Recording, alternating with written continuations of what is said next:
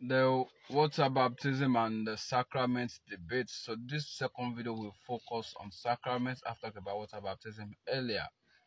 Again, our salvation is complete with or without water baptism. It's complete with or without Holy Ghost baptism. It's complete with or without um Holy Communion. But the Lord wants us to have all these experiences.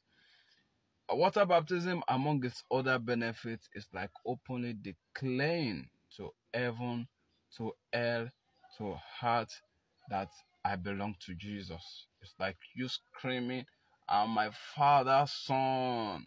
Eh, your father will be proud to hear you publicly identify with him. The same thing our Lord Jesus Christ. Now, talking about the sacraments, Paul said, The same way the Lord give me or teach me, I also hand it over to you and teach you.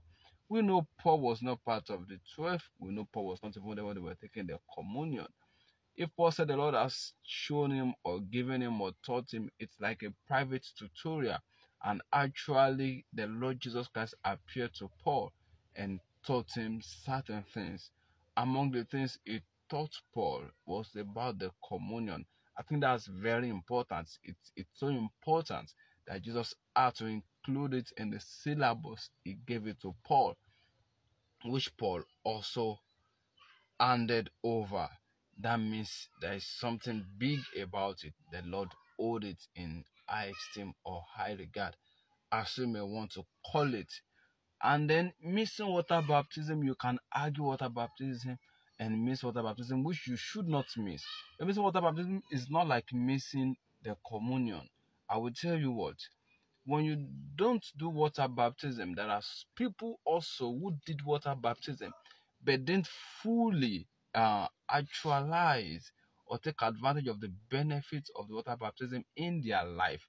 So they are better than you in terms of the experience and some other things, but at least you are almost at the same par. But and you know water baptism is once and for all. But the Holy Communion is something we take continuously. So even if you start taking it in ignorance or without full understanding of the privileges and the and, and the power it holds, like divine health, long life, and all of that, even if you don't understand those things at the beginning, there is a room for you to continuously grow in understanding and take advantage, keep taking advantage of the benefit. So communion is something you don't want to miss, you don't want to take with levity and and aside from the spiritual benefits of communion that we can go on and on to talk about, Jesus said, Do this in remembrance of me. Paul said, The Lord told me, Jesus told me, not the disciples telling me or teaching me now, the Lord told me that do this in remembrance of me. That's the book of Luke 12 19, 1 Corinthians 11 24 to 25. Now, come to think of it, if you celebrate Christmas, but you don't sacrament. no be juju be that. you do Christmas to remember Jesus. But what he actually told us to be doing to remember him, you are not doing it.